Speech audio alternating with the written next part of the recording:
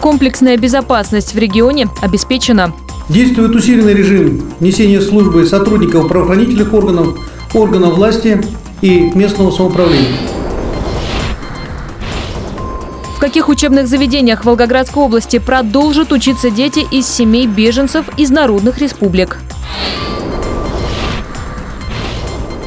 «Мое дело». Круглый стол о развитии малого и среднего предпринимательства с таким названием прошел в Волгограде. Какие актуальные темы обсудили предприниматели и эксперты? Предпринимателю э, необходимо получать информационную и консультационную поддержку, и в том числе правовую.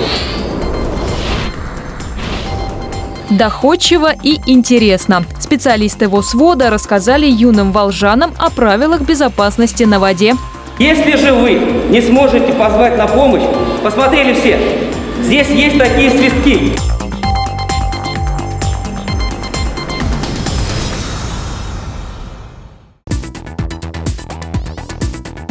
Вас приветствует информационная служба телеканала МТВ. В студии Инна Емельянова. Здравствуйте. Поддержать решение президента России Владимира Путина о проведении спецоперации на Украине и защите интересов жителей Донецкой и Луганской народных республик. Сегодня с этой целью в музее панораме «Сталинградская битва» собрались известные в России и во всем мире деятели культуры, искусства, науки и спорта в Волгоградской области. И после распада Советского Союза связи между представителями различных его наций и народов оставались очень крепкими. Все они имели общие корни, одну историю. Участники круглого стола вспоминали своих друзей и родных, живущих на всей территории бывшего СССР. Ситуация на Украине на протяжении последних восьми лет никого не оставляла равнодушным. Кровь моих детей, почти наполовину украинская, и казахская, русская если так генетически, и как тут отделить, разделить э, вот братство украинский народ и российский народ, и считать, что это какие-то враги, нет, конечно. Мы, э, мы единый. У нас никогда не было противоречий, мы всегда дружили со многими и белорусами, и украинцами. Но это наши братья, наши родные люди. У нас там много родственников, много близких, родных. Поэтому мы всей душой за принятое решение и надеемся, что оно быстро закончится. Решение провести специальную военную операцию по защите Донбасса Владимир Путин принял после обращения за помощью представителей ДНР и ЛНР. Я целиком полностью поддерживаю решение э, президента, а потому что, ну, как он говорит, что это э, называется не война, а операция, денацификация. История нам рассказывает о том, что какие-то послабления или нерешительность приводила к гораздо более чудовищным последствиям. Примером тому Великая Октябрьская революция. Конечно же, все хотят скорейшего решения этого вопроса. И мы могли полноценно вернуться к, как вы сказали, совместным общим проектам проведения, как спортсменов, хочу сказать, спортивных мероприятий. Вот, и чтобы мы также продолжали радоваться друг за другом. Мы все здесь э, э, молимся за то, чтобы все это разрешилось и как можно быстрее закончилось, и политики сели за стол переговоров и договорились о, искренне надеюсь, добрососедских дальнейших отношениях. Накал страстей в обществе бывает порой вызван недостатком или сознательно искаженной информацией. Она может ввести людей в заблуждение. Пожалуйста, очень четко относитесь к любой информации, критически. А, читайте только официальную, доверенную и проверенную информацию. Желательно из нескольких источников, чтобы понимать. Деятели культуры, искусства, науки и спорта Волгоградской области поддержали решение президента Российской Федерации об оказании помощи жителям Луганской и Донецкой народных республик. Они уверены, что действия России завершат конфликт, который властями Украины не решался с 2014 года. Регина Федина, Роман Седлецкий. Время новостей. Сегодня губернатор Волгоградской области на заседании региональной антитеррористической комиссии рассмотрел ряд задач по обеспечению комплексной безопасности жителей и территории Волгоградской области. Глава региона напомнил, что в связи с обострением ситуации, нарастанием террористических угроз и в целях защиты жителей Донбасса вооруженные силы России по решению Верховного главнокомандующего президента страны Владимира Путина проводят специальную военную операцию. Андрей Бочаров подчеркнул, что антитеррористическая и социально-экономическая ситуация на территории Волгоградской области стабильная. Предприятия организации жизнеобеспечения инфраструктуры, социальной сферы продолжают работу в штатном режиме. Комплексная безопасность в регионе обеспечена. Действует усиленный режим несения службы сотрудников правоохранительных органов, органов власти и местного самоуправления. В связи с необходимостью обеспечения приема и организации пребывания беженцев из Донецкой и Луганской народных республик на территории Волгоградской области введен и действует режим чрезвычайной ситуации. Для дальнейшего обеспечения безопасности Андрей Бочаров поставил ряд дополнительных задач, в том числе отдельное внимание уделить вопросам защиты объектов топливно-энергетического комплекса, промышленности и транспорта.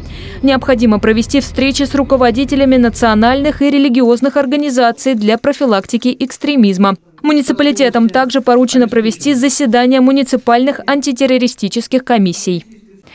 МВД России призывает граждан не участвовать в незаконных акциях протеста и не поддаваться на провокации в интернете о призывах к проведению публичных митингов. Дело в том, что в территориальные органы полиции уже поступает информация о появившихся в интернете призывах к проведению несанкционированных публичных мероприятий в ряде регионов. При этом полиция контролирует обстановку и поддерживает порядок на улицах, напоминая о продолжении действия ограничений, связанных с распространением коронавирусной инфекции. Любые провокационные действия, агрессия в отношении сотрудников полиции, невыполнение их законных требований будут незамедлительно пресечены. Лица, совершившие подобные правонарушения, будут задержаны и привлечены к ответственности. Министерство внутренних дел России призывает граждан соблюдать спокойствие и воздержаться от участия в несогласованных акциях. Не поддавайтесь на призывы к противозаконным действиям. Предостерегите от участия в несанкционированных мероприятиях своих несовершеннолетних родственников и знакомых. Проявите благоразумие и не ставьте под угрозу свою безопасность. Также полиция призывает граждан предостерегать от участия в несанкционированных мероприятиях своих несовершеннолетних родственников и знакомых понедельник, 28 февраля, школьники из семей беженцев из Донецкой и Луганской народных республик возобновят учебу. Дети будут посещать школы, расположенные в шаговой доступности от пунктов временного размещения в Волгограде. В списке учебных заведений школы номер 61, 102 и 130 Волгограда, номер 6 и 23 города Волжского. Родители подростков оформляют соответствующие заявления. Департамент по образованию администрации Волгограда распределил учащихся по классам и обеспечил всем необходимым для учебного процесса – от учебников до канцелярских принадлежностей. Также новые ученики будут обеспечены горячим питанием. В адаптации детям будут помогать педагоги-наставники и психологи. Поскольку среди прибывших в Волгоград школьников 6 девятиклассников, для них будет организована подготовка к итоговой государственной аттестации. По желанию для детей во неурочное время организуют и дополнительные занятия. Учащиеся смогут посетить спортивные секции и кружки. 1412 жителей региона заразились коронавирусом за минувшие сутки, из них 351 – дети. Такие данные сообщает региональный оперативный штаб. В Волгограде 213 заболевших, в Волжском – 199. Среди муниципальных районов лидируют Фроловский и Котельниковский, где заразились 123 и 120 человек соответственно. Полную картину вы видите сейчас на экране. К сожалению, за минувшие сутки от ковида и его последствий скончались 17 человек. Победить инфекцию смогли 3118 жителей региона. А сейчас краткий обзор самых читаемых публикаций mtv.online.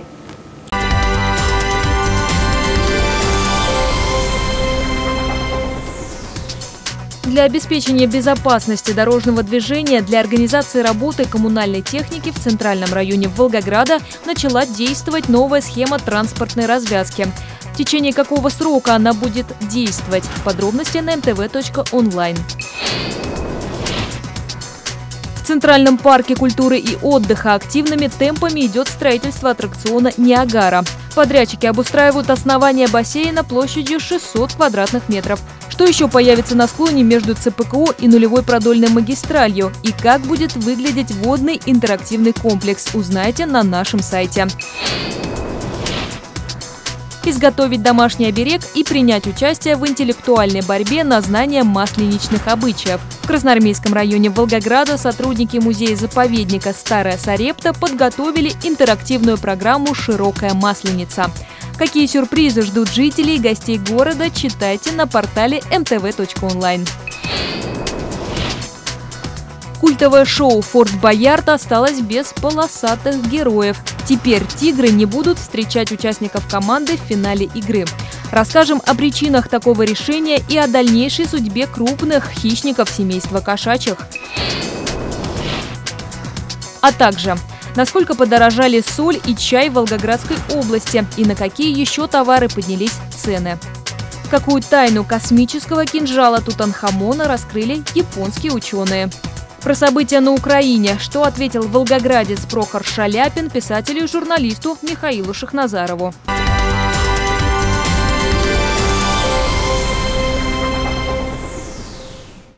Удобно, комфортно и экологически безопасно. В Волгограде презентовали новые газомоторные автобусы производства компании «Волгобас». Плюсы их работы уже оценили жители нескольких регионов нашей страны. В чем преимущество новых машин, которые со временем могут появиться в областной столице, узнала Ольга Цымбарович. Небесного цвета автобусы непривычных габаритов. Они разительно отличаются от своих собратьев, в которых передвигались волгоградцы прежние годы. Одно из преимуществ транспорта в их вместимости. Они могут перевозить до 180 пассажиров. Их эксплуатация обходится значительно дешевле дизельных аналогов. Для магистральных маршрутов, особенно маршрутов, э, следующих из южных районов города, это а, связь Красноармейского с центром. На таких маршрутах, как э, Двойка, 77 55 ребята с южных, с южных районов, там, где идет э, довольно большой пассажиропоток в центр, мы считаем, что целесообразно рассмотреть э, автобусы подобного класса. Транспорт подходит для работы в суровом климате, соответствует требованиям безопасности и экологичности и адаптирован для маломобильных пассажиров. В автобусах нет неудобных ступеней, но зато есть широкие двери, низкий пол. Для въезда на инвалидной коляске предусмотрены откидные аппарели, есть специальная площадка в салоне. В этих автобусах чувствуешь себя спокойно и комфортно. Об этом говорят и пассажиры, и водители. Мягкий, удобный, подвеска мягкая, ну, идет хорошо. И в повороты хорошо входит, э, то бишь нету такого заноса, идет отлично прям. Мне вот машина нравится такая. Сколько я работаю, прям прекрасно. И самое главное, пассажирам нравится тоже. Главное отличие этого автобуса от своих старших собратьев – двигатели шаттлов работают на газомоторном топливе и соответствуют экологическому стандарту Евро-5. Такие машины практически безвредны для экологии города. На этот важный аспект обратил внимание и глава города-героя Владимир Марченко во время осмотра автобусов. Эта серия она может быть на жиженном газе. Да? У нас в 2023 году и заправки уже будут, правильно же, на жиженном газе завод начнет работать. Поэтому, наверное, и как бы мы весь парк будем пытаться перестраивать под сжиженный газ. Глава города-героя отметил, для принятия решения о целесообразности использования автобусов особо большой вместимости необходимо учесть все факторы, в том числе пропускную способность городских дорог. Профильным службам предстоит провести ряд расчетов. К изменениям в транспортной схеме Волгограда муниципалитет подготовился, обращая внимание на привязанность маршрутов к местам трудоустройства и досуга жителей различных районов Волгограда. Новые автобусы могут стать составной частью транспорта города-героя наряду с 56 новыми троллейбусами на автономном ходу, которые закупает администрация Волгограда. Ольга Цымбарович, Роман Седлецкий. Время новостей. Сегодня в рамках проекта «Мое дело» в Волгограде прошел круглый стол о развитии малого и среднего предпринимательства. Реализация в регионах национального проекта по развитию малого и среднего предпринимательства, поддержка представителей этого сектора экономики – эти и другие актуальные темы обсудили участники встречи. В мероприятии приняли участие представители областного комитета экономической политики и развития, эксперты и бизнес-консультанты. Сотрудники Волгоградского центра защиты и развития бизнеса «Дело» более 16 лет ведут работу популяризации предпринимательства, как сферы приложения усилий гражданам нашей страны. Специалисты центра реализуют различные мероприятия по развитию личности современного предпринимателя, который создает собственные проекты, одновременно меняя к лучшему и окружающего мир в целом. Не первый раз сотрудники центра «Дело» реализуют социальные проекты при поддержке президентских грантов. Мы определенные объемы закладываем, но самая главная цель – это действительно показать, а какие у тебя есть там ну, задачи, возможности. В рамках реализации социального проекта «Мое дело» по всей территории Волгоградской области действуют и продолжают открываться центры, которые оказывают правовую помощь субъектам малого предпринимательства в создании и развитии бизнеса. Центры финансовой грамотности в муниципальных районах региона стали тем местом, куда обращаются жители за бесплатной правовой поддержкой. Что в этом году, в 22-м? Что интересно предпринимателям, жителям, да? Какие направления? Потому что э, одно из основных э, проблем у предпринимателя, э, он всегда задает вопрос, а я не знал. Вот эти вопросы мы поднимали и не просто для предпринимателей, а для центров правовой и финансовой грамотности, которые созданы в муниципальных образованиях. В рамках обсуждения на практических примерах участники круглого стола узнали об особенностях предпринимательской деятельности и трендовых новинках бизнеса. Благодаря проекту 100 жителей региона открыли свое дело и получили необходимую поддержку. Предпринимателю э, необходимо получать информационную и консультационную поддержку, и в том числе правовую. Э, и в данном случае эти центры оказывают э, самую необходимую эту помощь. Благодаря профессиональной поддержке предприниматели способны реалистично оценивать свои возможности в бизнесе, выстраивая верную стратегию развития своего дела. Есть определенное отставание восприятия. Вот там это уже есть. Я тоже много езжу за, за границей, да, и вижу, а, вот сейчас вот это я привезу в Волгоград и запущу. Волгоградской области, по данным реестра в 2021 году, осуществляют деятельность почти 73 тысячи субъектов малого и среднего предпринимательства. В регионе выросло число самозанятых и индивидуальных предпринимателей. Развитие и поддержка малого и среднего предпринимательства – одно из приоритетных направлений развития сферы экономики Волгоградской области. Илья Власенко, Виталий Грищенко. Время новостей. Сейчас реклама, а потом прогноз погоды.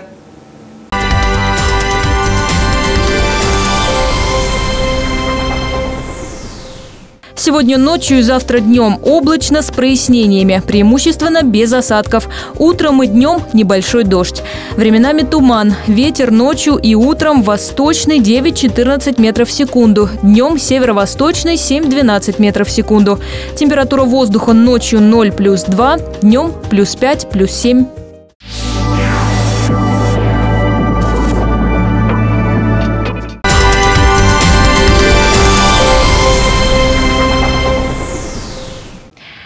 Потепление в Волгограде символизирует скорый приход весны, а вместе с ней и начало паводков и возрастание возможной угрозы несчастных случаев на воде. Специалисты аварийных служб подчеркивают, предупредить беду возможно путем профилактики и регулярных разъяснительных работ с населением, причем с раннего возраста. В одном из детских садов Волжского уже открыта группа «Юнги Восвода». Сегодня специалисты Всероссийского общества спасания на водах подарили малышам оборудование для изучения спасательного дела дела. Если же вы не сможете позвать на помощь, посмотрели все, здесь есть такие свистки. Яркие жилеты и спасательные круги для этих малышей предметы уже знакомые. Воспитанники детского сада номер два «Калейдоскоп» – участники отряда «Спасайка» специализированной группы «Юнги Восвода». Уже два года под руководством опытных спасателей и воспитателей дошкольники познают основы правил безопасности на воде. Нельзя баловаться в воде, нельзя подходить без спроса к воде. Купаться в спасательном жилете. Дважды в неделю занятия в бассейне, а еще закаливание, дыхательная гимнастика, морское дело и физподготовка. Пилотный проект «Юнги Восвода» в детском саду реализует под кураторством Волгоградского областного отделения Всероссийского общества спасания на водах на средства президентского гранта. От родителей мы получили поддержку, что они были как бы довольны, что имеется такая группа, что дети будут физически активны, э, здоровы, потому что все эти данные мероприятия, как бы они будут закреплять э, здоровье и иммунитет, что сейчас в нашей стране, мне кажется, немаловажно. Трехлетний проект рассчитан до 2023 года. Для повышения эффективности образовательного процесса малышам-юнгам специалисты ВОСВОДа подарили инвентарь для изучения правил безопасности на воде. Спасательные круги, линь, мегафон, жилеты, обучающие раскраски и наглядные методические пособия. Они будут учиться подавать помощь. Даже элементарная вещь, как э, правильно закинуть э, спасательный линь, конец Александрова. Не каждый взрослый умеет. Э, наши дети, есть даже пятиклассники, которые с первого раза откачивают робот-тренажер, проводят искусственную вентиляцию легких. Мы учим детей спасать свою жизнь, беречь свою жизнь, беречь жизнь своих близких, а самое главное, при необходимости прийти на помощь. Вода ошибок не прощает. Чтобы предупредить несчастные случаи на воде совместно с коллегами из регионального главка МЧС, аварийно-спасательной службы региона, службы спасения Волгограда и Комитета по обеспечению безопасности жизнедеятельности населения Волгоградской области круглогодично специалисты ВОСВОДа проводят рейды, мастер-классы в школах и вузах, разрабатывают памятки для взрослых. Это, кроме того, помогает нам снижать э, несчастные случаи на водных объектах, но и помогает в воспитании э, граждан Российской Федерации, конкретно Волгоградской области, с твердой жизненной позицией. Эти люди никогда не пройдут мимо беды, они обязательно помогут. В Волгоградской области зарегистрированы десятки случаев спасения утопающих, когда настоящими героями по неволе часто оказывались подростки. За проявленную смелость первые лица региона выражают им благодарность и вручают почетные награды. Практику обучения детей правилам безопасности на воде в рамках проекта «Юнги Восвода» сегодня применяют в двух детских садах Волжского. В дальнейшем этот опыт планируют распространить и в других дошкольных образовательных учреждениях региона. Екатерина Кудряшова и Глеб Волков. Время новостей. Такой запомнилась пятница. Не забывайте посещать наши официальные страницы в социальных сетях и делитесь собственным мнением в комментариях. С полной лентой новостей можно познакомиться на нашем информационном портале mtv.online. А на сегодня это все. До встречи!